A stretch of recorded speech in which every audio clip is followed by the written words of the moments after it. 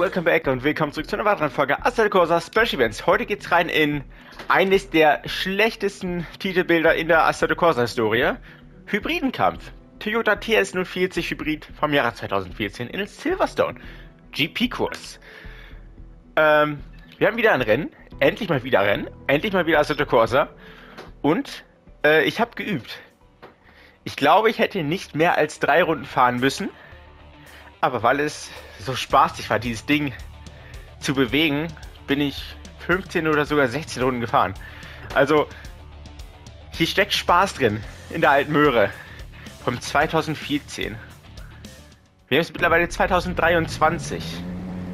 Wie schnell die Zeit vergeht. Ähm, übrigens, Fun Fact: Wir sind hier in Silverstone, dem ersten Rennen der WEC oder des, des 2014er WRC-Kalender. Sechs Stunden von Silverstone sind, die damals gefahren, im ja, ersten Rennen der Saison. Und Toyota ist mit diesem Auto direkt auf Platz 1 gefahren. Übrigens, wir lassen mal die Medium-Reifen drauf, denn das Auto galt damals als sehr reifenfressend. Nicht so wie der Nachfolger TS050. Der war dann eher so der reifensparsame. Aber deshalb, wir können nicht die weichen Reifen nehmen, weil dann haben wir äh, eigentlich nur rote Reifen mit der wir hier rumgurken. Und dass da keine Drift-Show ist, sondern ne, wir wollen ja schnell fahren. Äh, packen, lassen wir die Mediums drauf. Ja, ja.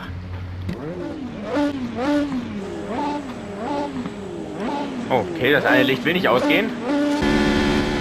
Alright. Oh Gott. Fahr, fahr, fahr, fahr, fahr, fahr, fahr, fahr. Die GDEs kommen. Es gibt GDEs. Oh, GT2 gibt es auch noch hinten am Rumfahren. Obwohl, nee, es sind GTEs 2014. Ja doch, da, war's, da gab es schon die GTEs. Oh Gott. Apropos, wir driften nicht, wir driften doch. Reifen sind anscheinend noch saukalt. Ja, nee. Könnten noch so ein paar Grad wärmer sein, vorne zumindest. Aber hinten geht. Übrigens gar kein Problem, äh, dass wir jetzt äh, letzter sind in der LMP1-Klasse. Die KI wie in die, ja leider in jedem Rennspiel, bauen also ein, maximal zwei Runden, bevor sie schnell sind. Aber schade, dass wir hier vorne nur die, die Audis äh, fahren haben. Haben sie hier strikt die Entwickler an, ja, das 2014er an die 2014er Liste gehalten. Weil sonst, wir hätten noch ein 2015er Porsche 919.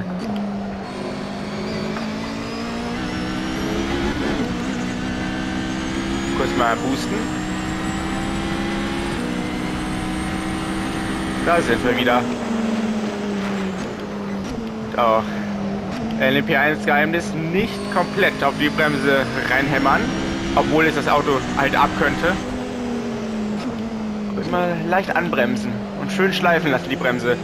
Damit man über die Bremse richtig viel E-Power rekuperiert.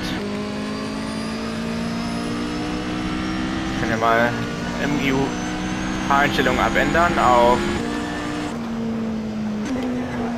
ah, Laden ist gleich Low Preserve Low Aggressive Bisschen Wumms aus den Kurven will ich ja schon haben. Vor allem, weil vorne rechts gerade die Eiszeit herrscht. 61 Grad. Wird sich bei Linkskurve das ein bisschen ändern.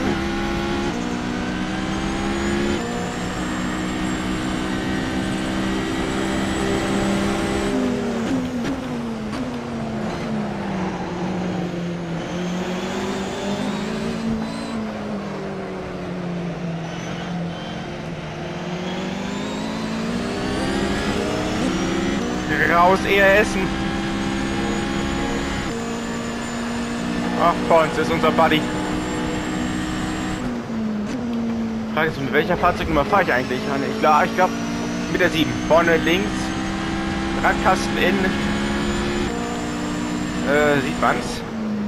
Ein Teil von der 7. Ich bin so ein kleiner Zahnfetischist. Ich fand die Ja, vor uns fährt er dann, wenn wir die 7 sind, ist bei uns die Fahrer Nummer 8. Hat ja 7 und 8 die Toyotas. Oder immer noch. Ich finde die 8 ein bisschen schöner, weil die 8 sieht von jedem Winkel gleich aus.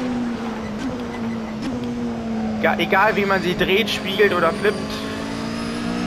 Sie sieht immer gleich aus.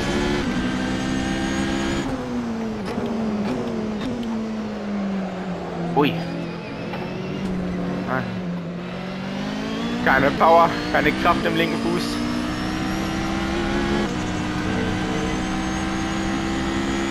Der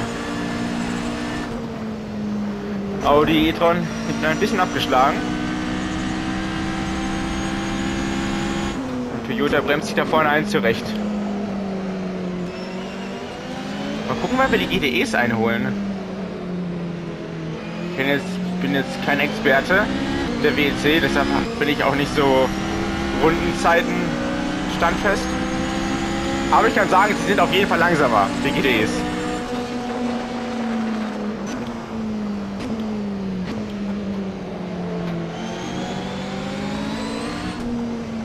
Aber weil ich nicht mehr hart genug bremse, weil ich jetzt gerade nicht muss, wenn auch vorne die Reifen komplett kalt.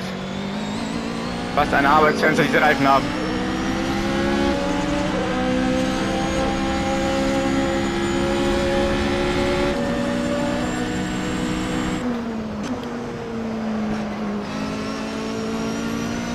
mal vielleicht noch alles umschalten. Mal kurz hat ausmachen.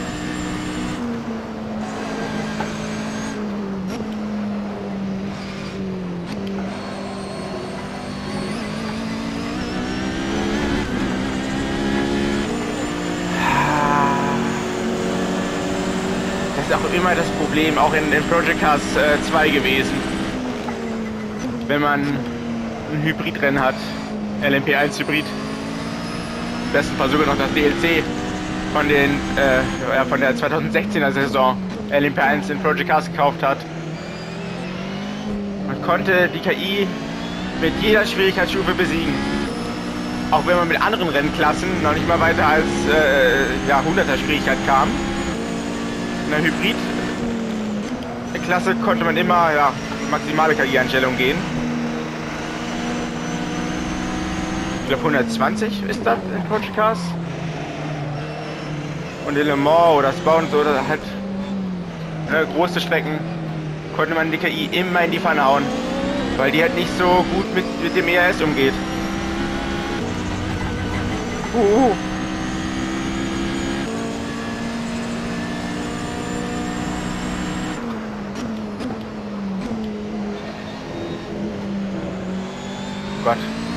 Fast die iRacing Top Split Daytona, 24 Stunden Daytona Route gefahren. Übrigens, iRacing. Alter Vater. iRacing ist wirklich so einer der Spiele, auf die ich echt keinen Bock habe, die irgendwann mal anzurühren. Erstens, es ist scheiße teuer. Zweitens, man braucht einen PC, also einen guten PC. Zwei Sachen, wo ich sage, ja, geht raus hier, da sehe ich mich gar nicht. Und drittens, in jedem großen äh, iRacing-Rennen passiert irgendeine Scheiße, wovon die Welt wieder berichtet. Also natürlich nicht die, ne, die, die, die, globale Welt, wo dann die Oma einen anruft und sagt, ja Mensch, sag mal, was ist da, da los gewesen, sondern wo deine Geek-Freunde dich anrufen und sagen, was ist da los gewesen. Ja, wir hatten es ja, also ähm, für Leute, die Assetto Corsa äh, Iris nicht kennen. Es ist halt auch ein Rennspiel. Halt nur für PC. Und Streckenautos muss man sich dort halt äh, selber kaufen. Ich dödel jetzt hier mal vorbei. Ein bisschen, ein bisschen Gas geben hier. Zehn Runden, oh Gott. Wir müssen auch mal langsam rumgehen. Während ich die Reifen anscheinend komplett abkühlen will. Und jetzt blockieren Reifen ab und den Audi abschieße. Doppelführung Toyota. mein geheimer Plan ist aufgegangen. Du tust. Ähm, ja, bei iRacing ist halt ein reines Multiplayer-Rennspiel oder Rennsimulation. Ähm, und dann gibt es halt offizielle Server, die dann halt ja, eine Woche vorher zu den richtigen Rennen auch ähm, ja, die richtigen virtuellen Rennen dann halt äh, naja, ausführen. Das heißt, man hat da nicht nur seine selbst erstellte oder andere erstellten Lobbys mit heute fahren wir dieses Auto auf dieser Strecke, sondern ab und zu gibt es auch diese offiziellen Events. Und wenn die ganze Welt diese offiziellen Events fahren will, gibt es natürlich die Top-Splits oder die Splits allgemein, wo dann aufgeteilt wird, ne, wie gut du fährst, in welchen Split du kommst. Die besten sind im Top-Split und dann geht es halt runter, je, ne, Split 2, Split 3, Split 4 und dann halt so höher die Nummer, desto langsamer äh, die Fahrer an sich. Und der Top-Split wird immer übertragen äh, auf, auf Twitch oder YouTube oder beides. Manchmal oder meistens äh, sogar mit, mit Commentary. Also relativ cool die Sache. Aber dann halt auch E-Sportler da rein, reinhalten. Mit den offiziellen E-Sport-Teams von Williams, Red Bull und wie sie nicht alle heißen. Und es halt dann doch schon um was geht, wird dann manchmal reingegiegt. Ach du heilige Makrele, das ist unvergleichbar. Zum Beispiel bei den 24 Stunden von Spa 2022 äh, ist es im Topsplit passiert, dass die Leute an vielen Stellen der Strecke mit einer Fahrzeugseite komplett auf dem Rasen waren, weil dadurch haben sie eine Spielmechanik ausgenutzt, die dann die Reifentemperaturen ähm, bei einer Reifentemperaturen temperaturenden Strecke namens Spa ja, gleich tief gehalten haben. Weil Spa hat die Eigenschaft, dritten Sektor oder Anfang dritter Sektor bei diesen ganzen erstes, ganzen Rechts-Links-Kurven, Links-Rechts-Kurven, die, ist die Reifentemperatur recht hoch. Und wenn man davor bei der, bei der tausendfach links oder auch bei der langen Camel Straight mit zwei Reifen mit einer Seite auf dem Grün fährt und die andere Seite na, auf der Strecke, bleiben die Reifentemperaturen äh, äh, gleich unten. Ah, das war gerade ein bisschen heikel.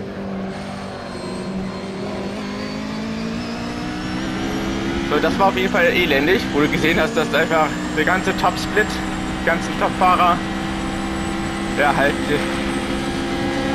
ja, das, die, die, die Spielmechanik komplett ausnutzen. Und jetzt vor einer Woche die 24 Stunden von Daytona, wo jetzt dieses Wochenende auch die richtigen 24 Stunden von Daytona sind. Oh, übrigens die Kaffeebremser von der Nummer 8 voraus. Ähm, ja, dieses, also jetzt letzte Woche 24 Stunden Daytona, Virtual Daytona, äh, auch wieder Top Split, Surprise. Ähm, ja, wurde auch wieder auf so vielen Arten das Spiel ausgenutzt. Daytona, wer es nicht kennt, ist halt ein Ovalkurs, kennt man vielleicht aus der Indica- oder Nesca-Szene. Zwei ganz steile Kurven, dann noch eine, noch eine dritte über Start und Ziel. Und für normale ja, GP-Rennen oder, oder GT-Rennen gibt es ja noch den Infield-Kurs mit den Steilkurven von Daytona. Und eigentlich in Daytona bei der Steilkurve fährt man an der Steilkurve entlang. Aber zum Qualifying haben sich ein paar Leute, besonders äh, die Williams eSport Group, äh, sich äh, ja, gedacht, ja, äh, jetzt mal nicht außen die Steilkurve entlang, sondern fahre über der weißen Linie äh, ja, den, den, den flachen Bereich, der eigentlich nur als äh, Safety Zone da ist, fahren wir mal lang. Und dadurch äh, sind die im Qualifying zwei Zehntel schneller gewesen und waren dann Erster. Ja, kurz mal den Mate stehen gelassen. So, der Qualifying-Fahrer wurde dann zwar nachträglich disqualifiziert, aber fürs Rennen äh, war dann wieder alles cool sind halt auf P1 gestartet und haben, glaube ich, das Rennen, ja doch, haben das Rennen gewonnen. Was schon frech ist.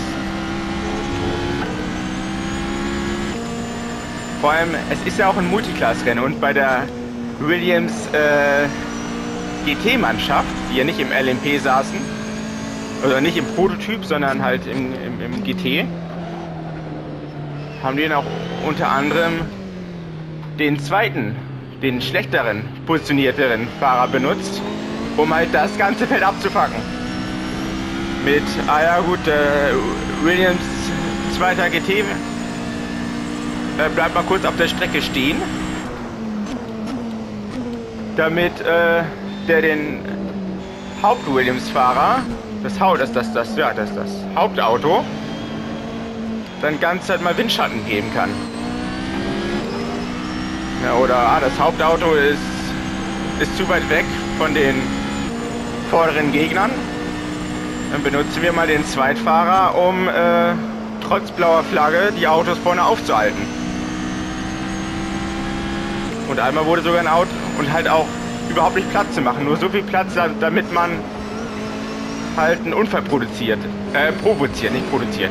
Aber ein Unfall wurde auch produziert. Ah, hallo übrigens GTs.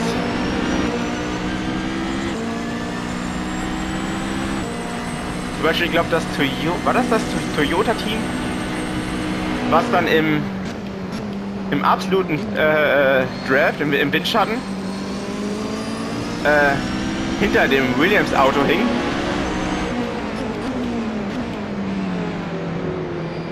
Und während sie wirklich kurz vor Bump-Drafting sind, weil sie so knapp hintereinander waren, luft das äh, zweit positionierte, also das, das schlechter positionierte Williams-Auto, was übrigens eine blaue Flagge hat, damit das Team Toyota dagegen kracht bei einer Vollgassektion und sich deshalb rausdreht. Muss mal kurz die Reifen blockieren lassen. Ich käme da nicht rechtzeitig zum Stehen.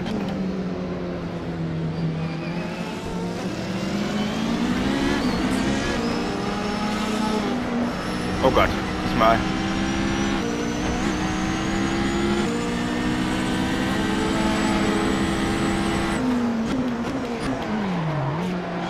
Oh Gott, ich dachte, ich könnte mich nochmal vorbremsen, aber die Autos haben hier mächtige Stahlbremsen.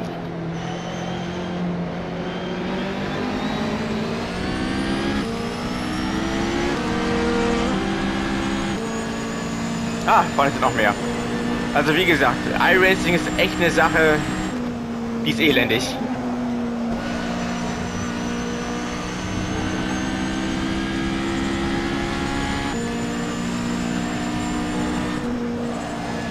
Gehen wir dann nochmal für die letzte Runde auf Hotlap.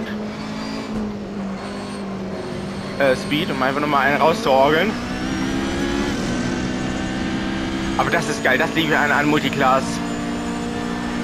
Vor allem, wenn, wenn die LMP1 ein Battle hat, die GTE Battle haben und beide müssen sich irgendwie arrangieren, sich nicht alle äh, abzuschießen. Deshalb, Leute, der 24 Stunden Daytona, dieses Wochenende, es wird ein Hit. Und übrigens Fun Fact zu, zu, zum ja, Legendenrennfahrer Hans-Joachim Stuck,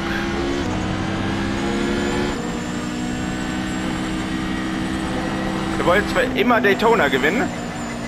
Oh fuck. Oh fuck. Aber er ist ausgeschieden. Aber in der Nacht, wo er ausgeschieden ist, hat er seinen Sohn gezeugt. Äh, also, äh, ich habe schon ein paar Mal gesagt, diesen, diesen Funfact, aber ich finde den so bekloppt.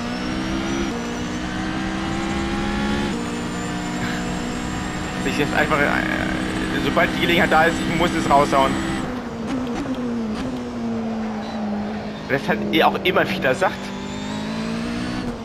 Immer so, ja, habe ich, hab ich eine, eine rausgehauen.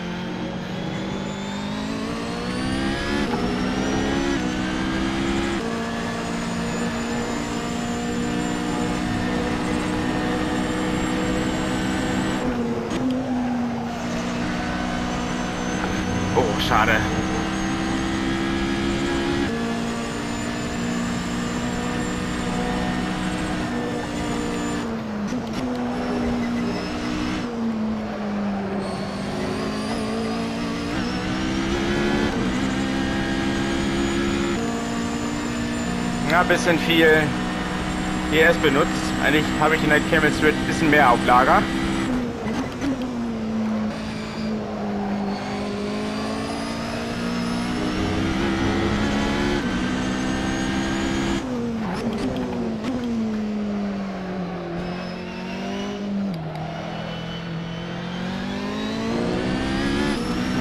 der Realität. Sieg an, geht an Toyota. Hände vom Lenkrad. Gucken, was das Auto macht. Ja, yeah, ja. Komm. Ah, ich wollte noch umdrehen und die Zieleinfallkamera machen, aber geht ja nicht in Assetto Corsa. Man wird äh, rausgegietet in die Garage. Ja, aber wie gesagt, wie in der Realität, das erste Rennen der Saison, Toyota gewinnt. Toyota hat auch äh, Fahrer- und Konstrukteurstitel 2014 gewonnen. Davor war es mehrere Male Audi, danach war es mehrere Male Porsche und dann war es wieder mehrere Male Toyota. Aber auch nur, weil dann halt 2016 alle weg waren. Porsche weg, to äh, Audi weg und Toyota, ja, die waren da und haben gewonnen. Zum Glück haben wir jetzt die LMDH. Weil damit haben wir jetzt wieder ein paar Hersteller mehr gewonnen. Aber das ist ja wieder eine andere Geschichte, denn das Rennen ist vorbei. Wir jeden uns nochmal schnell in die Replay. Haben wir, haben wir noch schöne Aufnahmen? Es könnte laut werden. Nee, wir sind ja in der Hybrid-Ära. Nichts wird hier laut. Ich kann übrigens auch mal oben rechts noch, noch ein 2 Minuten äh, Spa-Video verlinken, wo das Auto gefahren ist. Spa war, glaube ich, das zweite Rennen der Saison, wo Toyota auch gewonnen hat. Und naja, sind schon für Zuschauer angenehmere Autos. Ich meine, wer will schon ein 2004er Formel 1 Ferrari hören? Ein bisschen über die Stränge geschlagen. Ein bisschen über die Stränge geschlagen. Oder es war iRacing Topsplit Technik. Reifen schon. Erstmal die schützende Rasenschicht wegkriegen, bevor dann der Gummi angegriffen wird. Ja, aber wie gesagt, iRacing ist so bescheuert. Naja, raus jieten wir uns. Was gibt's nächstes Mal? Vielleicht sogar schon morgen. Ich will ja für Obacht. Wir müssen auf jeden Fall nochmal hier Porsche Cup fahren. Aber ich sehe mich im Jahr 1967 in Silverstone. Und ich glaube, dazu gibt es auch ordentlich Historic Facts. Das kann eigentlich, wie gesagt, nur, nur gut werden. Von daher, ich bin nochmal raus, haut rein, bye bye and have a great time. Bye, have a great time.